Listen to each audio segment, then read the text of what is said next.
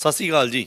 ਤੁਸੀਂ ਵੇਖ ਰਹੇ ਜੇ ਮਿਲਾਪ ਨਿਊਜ਼ ਚੈਨਲ ਤੇ ਮੈਂ ਹਾਂ ਮਨਵਿੰਦਰ ਸਿੰਘ ਤੇ ਅਸੀਂ ਆਏ ਆ ਖਡੂਰ ਸਾਹਿਬ ਇਤਿਹਾਸਕ ਹਲਕਾ, ਜਿਹੜਾ ਕਿ ਅੱਠ ਗੁਰੂ ਸਾਹਿਬਾਨਾਂ ਦੀ ਪਵਿੱਤਰ ਚਰਨ ਛੋਹ ਪ੍ਰਾਪਤ ਧਰਤੀ ਆ।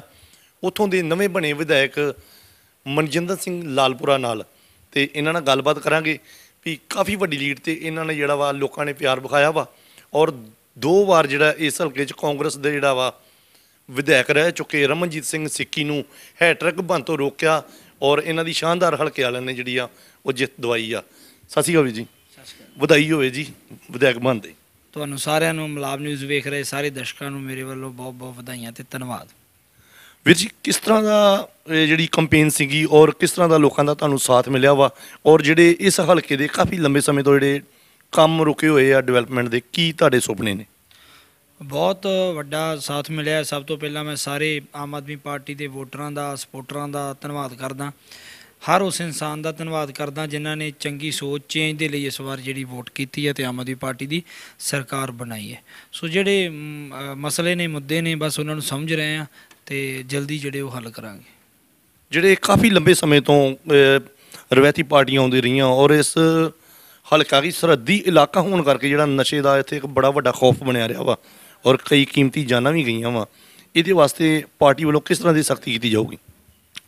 ਇਹਦੇ ਤੇ ਅਸੀਂ ਨਕਸ਼ ਜਿਹੜਾ ਨਸ਼ਾ ਹੈ ਉਹਦੇ ਤੇ ਬਹੁਤ ਸਖਤ ਜਿਹੜਾ ਵਾ ਉਹ ਕਦਮ ਜਿਹੜੇ ਉਹ ਚੱਕਾਂਗੇ ਤੇ ਬਹੁਤ ਜਲਦੀ ਤੁਹਾਨੂੰ ਇਹਦੇ ਤੇ ਜਿਹੜਾ ਵਾ ਡਿਫਰੈਂਸ ਤੇ ਪਤਾ ਲੱਗ ਜੂਗਾ ਕਿ ਉਹ ਸਰਕਾਰਾਂ ਜਿਹੜੀਆਂ ਹੁਣ ਤੱਕ ਇੰਨਾ ਲੰਮਾ ਸਮਾਂ ਚੱਲਦੀਆਂ ਰਹੀਆਂ, ਉਹਨਾਂ ਨਸ਼ੇ ਨੂੰ ਰੋਕਣ ਲਈ ਕੁਝ ਨਹੀਂ ਕੀਤਾ, ਸਗੋਂ ਨਸ਼ਾ ਦਿਨੋਂ ਦਿਨ ਵਧਿਆ ਹੀ ਹੈ।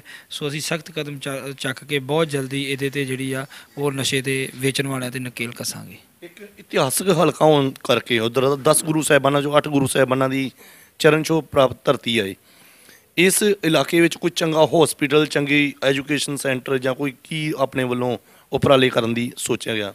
ਆ ਦੇਖੋ ਸਹੁੰ ਚੁੱਕ ਸਮਾਗਮ ਹੋ ਜੇ ਉਸ ਤੋਂ ਬਾਅਦ ਚ ਸਰਦਾਰ ਭਗਵੰਤ ਸਿੰਘ ਮਾਨ ਸਾਡੇ ਜਿਹੜੇ ਮੁੱਖ ਮੰਤਰੀ ਨੇ ਉਹਨਾਂ ਨਾਲ ਬੈਠ ਕੇ ਆਪਣੇ ਪੂਰੇ ਹਲਕਾ ਖਡੂਰ ਸਾਹਿਬ ਦਾ ਰੋਡ ਮੈਪ ਜਿਹੜਾ ਉਹ ਬਣਾਵਾਂਗੇ ਵੀ ਅਸੀਂ ਇਹਦੇ ਚ ਕੀ ਕੀ ਕਰਨਾ ਹੈ ਕਿਵੇਂ ਕਰਨਾ ਹੈ ਸੋ ਸਾਰਾ ਉਸ ਤੋਂ ਬਾਅਦ ਤੁਹਾਨੂੰ ਪ੍ਰੈਸ ਦੇ ਵਿੱਚ ਜਾਣਕਾਰੀ ਦੇਵਾਂਗੇ। ਜਿਸ ਤਰ੍ਹਾਂ ਦੇਖਿਆ ਗਿਆ ਵੀ ਇਲੈਕਸ਼ਨ ਦੇ ਵਿੱਚ ਸਾਰੀਆਂ ਪਾਰਟੀਆਂ ਵੱਲੋਂ ਜਿੰਨੇ ਵੀ ਕੈਂਡੀਡੇਟ ਖਲੋਤੇ ਸੀ ਜਾਂ ਇਲਾਕੇ ਦੇ ਵਰਕਰ ਸੀਗੇ, ਸ਼ਾਂਤਮਈ ਵੋਟਾਂ ਹੋਈਆਂ ਵਾ। ਇਹਨਾਂ ਨੂੰ ਤੁਸੀਂ ਕੀ ਕਹਿਣਾ ਚਾਹੁੰਦੇ? ਇਹਦੇ ਲਈ ਮੈਂ ਸਾਰੀਆਂ ਪਾਰਟੀਆਂ ਦੇ, ਚਾਹੇ ਅਕਾਲੀ ਦਲ ਹੈ, ਚਾਹੇ ਕਾਂਗਰਸ ਹੈ, ਆਮ ਆਦਮੀ ਪਾਰਟੀ ਹੈ, ਚਾਹੇ ਹੋਰ ਪਾਰਟੀਆਂ ਦੇ ਆਗੂ ਸਾਹਿਬਾਨ, ਸਾਰਿਆਂ ਦਾ ਤਹਿ ਦਿਲੋਂ ਧੰਨਵਾਦ ਕਰਦਾ ਕਿ ਤੁਸੀਂ ਇਸ ਵਾਰ ਭਾਈਚਾਰਕ ਸਾਂਝ ਨੂੰ ਮੁੱਖ ਬਣਾਉਂਦਿਆਂ ਹੋਇਆਂ ਤੁਸੀਂ ਜਿਹੜੀਆਂ ਇਲੈਕਸ਼ਨਾਂ ਨੇ ਬੜੀ ਸ਼ਾਂਤੀ ਦੇ ਨਾਲ ਕਰਾਈਆਂ। ਸੋ ਉਹਦੇ ਲਈ ਮੈਂ ਸਾਰਿਆਂ ਦਾ ਧੰਨਵਾਦ ਕਰਦਾ, ਚਾਹੇ ਉਹ ਕਿਸੇ ਵੀ ਪਾਰਟੀ ਦੇ ਵਰਕਰ ਸਾਹਿਬਾਨ ਹੋਣ। ਜਿਸ ਤਰ੍ਹਾਂ ਮਤਲਬ ਵੀ ਆਪਣੇ ਪਿਛਲੇ ਲੰਬੇ ਸਮੇਂ ਤੋਂ ਵੇਖਿਆਗਾ ਹਲਕਾ ਵਿਧਾਇਕ ਗੈਬ ਰਹੇ ਸੀਗੇ। ਲੋਕਾਂ 'ਚ ਕਾਫੀ ਵੱਡਾ ਰੋਸ ਪਾਇਆ ਗਿਆ ਵਾ। ਇਸ ਵਾਰ ਕਿਸ ਤਰ੍ਹਾਂ ਦਾ ਲੋਕਾਂ ਨੂੰ ਦਿਖਾਈ ਦਊਗਾ? ਦੇਖੋ, ਲੋਕਾਂ ਨੂੰ ਫ਼ਰਕ ਤਾਂ ਨਹੀਂ ਦਿਖ ਪਿਆ ਕਿ ਅਸੀਂ ਲੋਕਾਂ ਦੇ ਵਿੱਚ ਆ। ਬਨ ਤੋਂ ਬਾਅਦ ਚ ਵੀ ਵਿੱਚ ਆ। ਵੋਟਾਂ ਲੈਣ ਤੋਂ ਬਾਅਦ ਚ ਵੀ ਮੈਂ ਧੰਨਵਾਦ ਜਿਹੜਾ ਜਾ ਕੇ ਕੁਝ ਪਿੰਡਾਂ 'ਚ ਕਰ ਸਕਿਆ, ਜਿੰਨੇ ਕਿ ਮੇਰੇ ਕੋਲ ਦਿਨ ਸੀ। ਸੋ ਹੁਣ ਜਿੱਤ ਕੇ ਪਿੰਡ ਪਿੰਡ ਜਾ ਕੇ ਧੰਨਵਾਦ ਕਰਾਂਗੇ। ਫ਼ਰਕ ਲੋਕਾਂ ਨੂੰ ਆਪ ਨਜ਼ਰ ਆਉਣ ਲੱਗ ਪੈਣਾ। ਔਰ ਜਿਹੜੇ ਪਿਛਲੇ ਸਮੇਂ ਦੇ ਵਿੱਚ ਕੋਈ ਘਪਲੇ ਹੋਏ ਆ ਗ੍ਰਾਂਟਾਂ 'ਚ ਇੱਧਰ ਉੱਧਰ ਹੋਏ ਆ ਜਾਂ ਕੁਝ ਹੀ ਲੋਕਾਂ ਨੇ ਜਿਹੜਾ ਵਾ ਇਸ ਹਲਕੇ ਨੂੰ ਲੁੱਟਿਆ ਵਾ ਉਹਨਾਂ ਵਾਸਤੇ ਆਮ ਪਾਰਟੀ ਕੀ ਕਰੇਗੀ? ਦੇਖੋ ਇਹ ਅਸੀਂ ਬਹੁਤ ਜਲਦ ਜਿਹੜਾ ਸਹੁੰ ਚੁੱਕ ਸਮਾਗਮ ਤੋਂ ਬਾਅਦ 'ਚ ਹੀ ਸਾਰੇ ਫੈਸਲੇ ਲੈਣੇ ਆ।